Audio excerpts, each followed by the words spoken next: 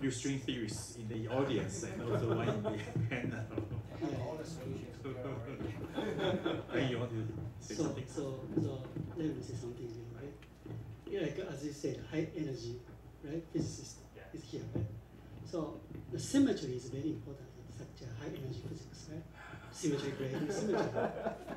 yeah, how this, uh, yeah, you can see like light harvest antenna system, bacteriochlorophyll, that's uh, right? Yeah. The bacteria. Yeah. That's a very symmetric. Very symmetric, yes. So that make any importance? Is that ah. necessarily like that, or I, I, I don't know, but I, I know that when people just first discover that crystal structure, it's amazing, such kind of a ring-like, beautiful, symmetric structure. So people propose various theories. So wheels are important for light harvesting, for example. This was a title of a paper published at that time. But in my opinion, in the end, I think this regular uh, geometry is probably probably just a kind of a residual of evolution because it's the material are old. Okay, so at that time they can only build a very simple monomeric unit. Okay, and then it assembled into a very regular symmetric structure. So that's necessary because they don't evolve. At that time they so don't. nature learned how to break a symmetry yeah. and it evolves. Oh, okay, maybe that's a good point. Yeah. Initially has a good symmetry, then that was broken. Yeah, in fact, uh, you mentioned this molecule, right? Yeah. The chlorophyll. Chlorophyll, yes. Yeah, chlorophyll has a very symmetric case. Yeah. But the But it's symmetric case, your your transition is very high UV area, Yeah. right? So that they break a symmetry. Yeah. So you can get the visible visible, yes. absorption. So the symmetry and the symmetry problem is very important too, right? In some sense. Okay. Well, actually, that's a good point. Yeah, for Q band to have a significant transition, you, you need that. Yeah. I, I want to ask a question about how far away uh, are we to uh, artificial uh, photosynthesis because it could solve the global warming problem and energy problem. No, no. Uh, to, to be honest, there are several, uh, many, not, not just several. In you come recent years, you see papers on artificial photosynthesis, probably every week, in various chemi- chemical uh, journals. But the problem here is all those so-called artificial photosynthetic systems, they either build an electron transfer system that mimics the reaction center, or they build an energy transfer system that mimic the you know, light harvesting system. They never actually build a whole complete system. But I think the difficult pro- problem here is, is how you couple energy transfer with electron transfer, and then has this electron go out, like I mentioned, the electron transfer chain, you need to build that.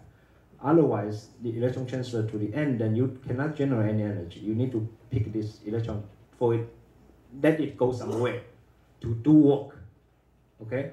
But that part is still missing. So I think it is still very far, far, far away.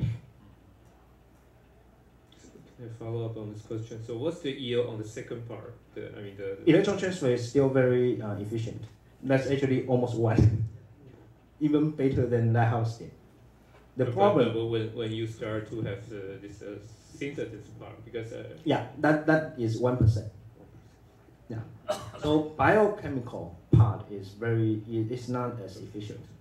Yeah. Then so people ask, so the biochemical part is not as efficient. Then so why do you need this very efficient light reactions, right? We say you only fit to the most low. It's governed by this low energy one. But the, the problem is this: if you have uh, the light reaction is in the beginning, in the very first stage. If you lose efficiency over there, then you already lost the energy. You cannot do any better. So you need to do better in the beginning. Secondly, sometimes the later part actually requires, although it's one percent, that is, it requires much higher efficiency in this um, kind of uh, uh, uh, the light reaction. For example, in oxygen evolving, you need four electrons to do to to split water. Okay, so there is actually oxygen evolving center that goes through four states to accumulate energy. And there, there is a certain kind of a limited lifetime for that. Look, all those states are high energy states. They, they are limited lifetimes, okay, in the microsecond time scale. So you need to actually supply energy use in a, a certain, uh, more than a certain frequency to maintain that state.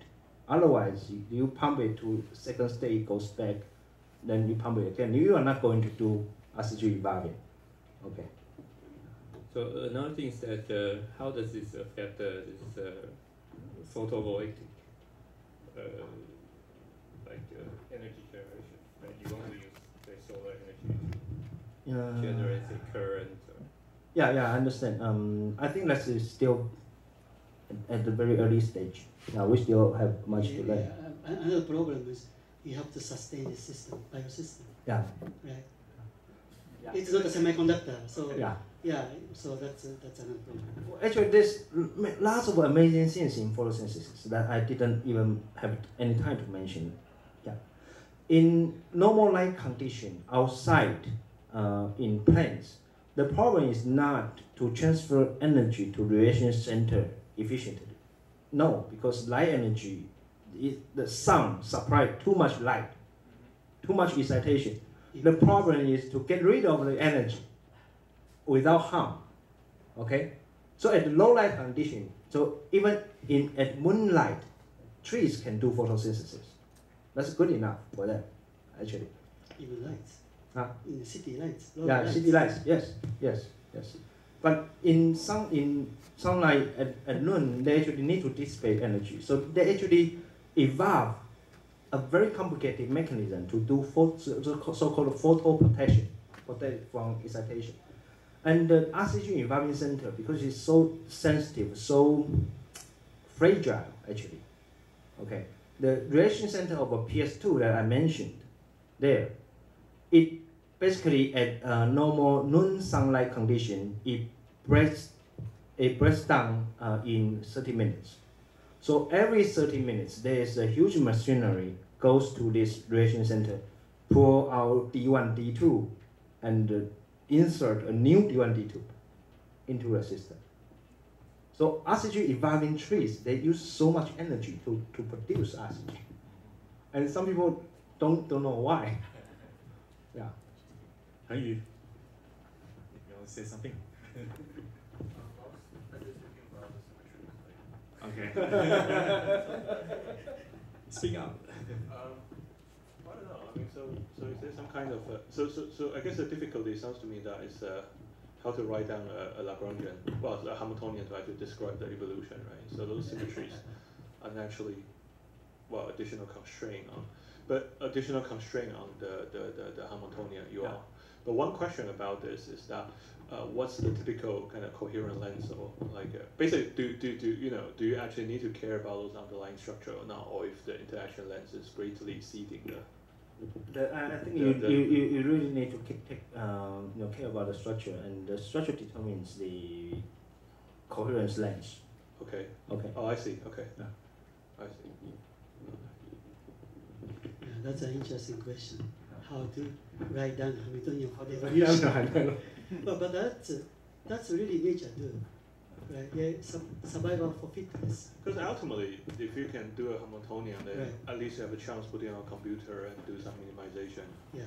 like variational principle kind of approach to work out um, Yeah, so the pro, yeah, that's why structure, he, yeah. he done this uh, compares a random Yeah, a randomly oriented system, right? So he found that uh, right, binomial system is quite high end, let us say, very uh, high efficiency end, but it's not the maximum of random distribution. So that we have to understand that how we can make physics out of this. Yeah. Because the usual case, just noise. Right?